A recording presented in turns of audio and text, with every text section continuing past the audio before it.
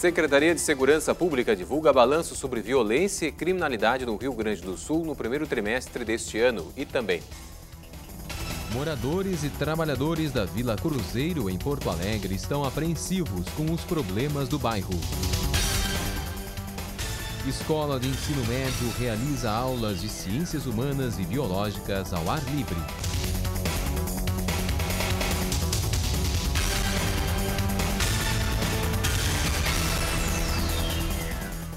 Boa tarde. No Rio Grande do Sul, o número de latrocínios diminuiu no primeiro trimestre, mas o de homicídios aumentou.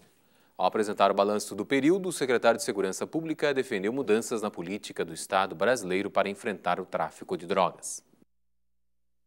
Os dados da segurança pública revelam que neste primeiro trimestre houve redução de 34% no número de latrocínio, que é o roubo seguido de morte. Em contrapartida, o de homicídio aumentou em 10%. Segundo o secretário Ayrton Michels, 82% dessas vítimas têm antecedentes criminais e as seis delegacias de homicídios existentes em Porto Alegre dão conta do que ocorre na cidade, têm resposta eficiente. De cada dez crimes, em sete é apresentada autoria. E o secretário admitiu que lutar contra o tráfico de drogas é um desafio constante. O que se gasta no combate à droga? Se nós gastássemos em prevenção, né, em mídia, em comunicação, em saúde, para a diminuição de pessoas que consumem droga, eu acho que o resultado seria muito melhor do que esse combate que nós temos feito reiteradamente sem resultado nenhum. Nós temos que discutir isso, né? legalizar, é, colocar isso né, na, na que o Estado tenha o controle disso, nós temos que começar a discutir isso no Brasil. Sobre o Presídio Central de Porto Alegre, o secretário de Segurança afirma que o governo se esforça para reduzir a superlotação. Outro desafio. O controle no Central, com 4.500 presos, é praticamente impossível. Vamos, né, eu reconheço isso há muitos anos. Nós temos que trazer esses presos, vamos colocá-los em outros, por exemplo, aqui em Canoas, onde nós estamos gerando 2.800 vagas, sem superlotação, aí o Estado vai ter o controle sobre os presos e isso não deverá mais ocorrer.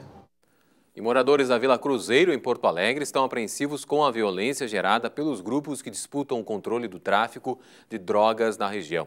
A situação alterou a rotina de escolas e postos de saúde. Para garantir segurança, a Brigada Militar intensificou o policiamento. No desenho do aluno, policiais descem de helicóptero e são atacados com balas de canhão. A percepção infantil da realidade da Vila Cruzeiro, na zona sul de Porto Alegre, contradiz a aparente normalidade nas ruas. Os moradores estão com medo. Essa mãe pensa em tirar seus filhos da escola. Elas ficam com medo, né? apesar de não ser nada com elas, né? mas elas têm medo e pedem para mim trocar de escola. E eu, como venho trazer e venho buscar, né?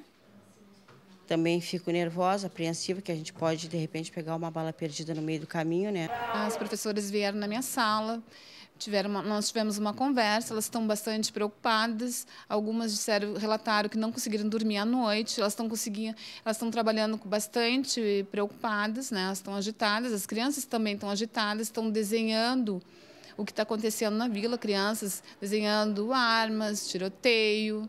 As professoras também estão ouvindo relato das crianças e estão bastante angustiadas. Conforme a Brigada Militar, o policiamento foi intensificado na área com 54 homens do Pelotão de Operações Especiais e garante que não há toque de recolher imposto pela criminalidade que disputa pontos de tráfico de drogas.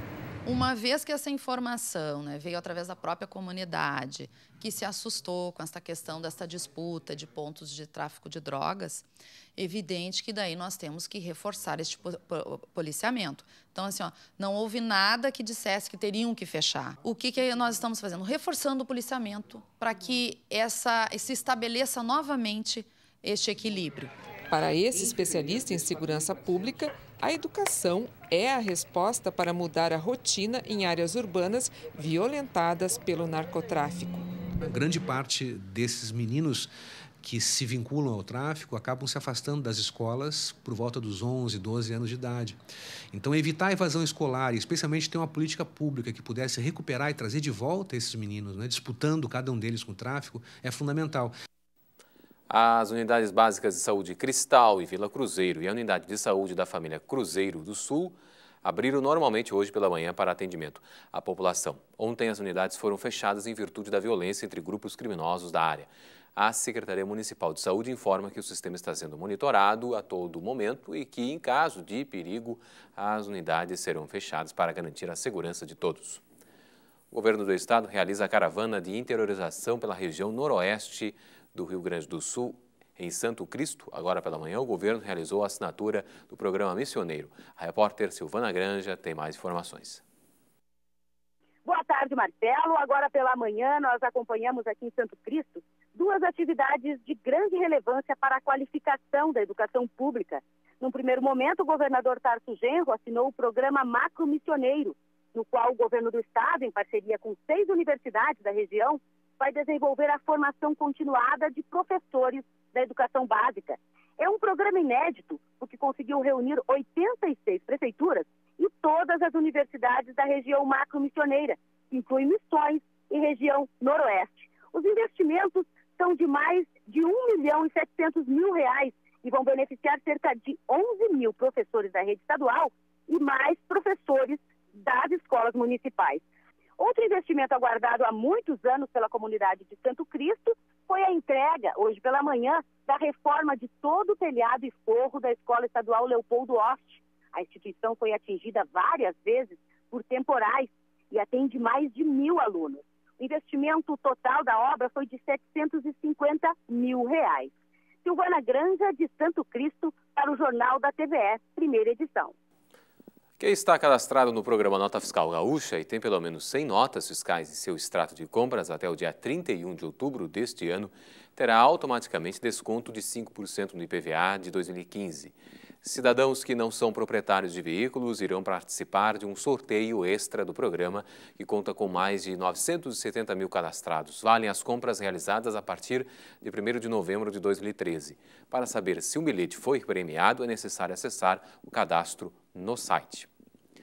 Veja a seguir, curso qualifica deficientes visuais para o mercado do trabalho e também. Alunos de ensino médio vão ao Jardim Botânico em Porto Alegre para vivenciar conteúdos na prática.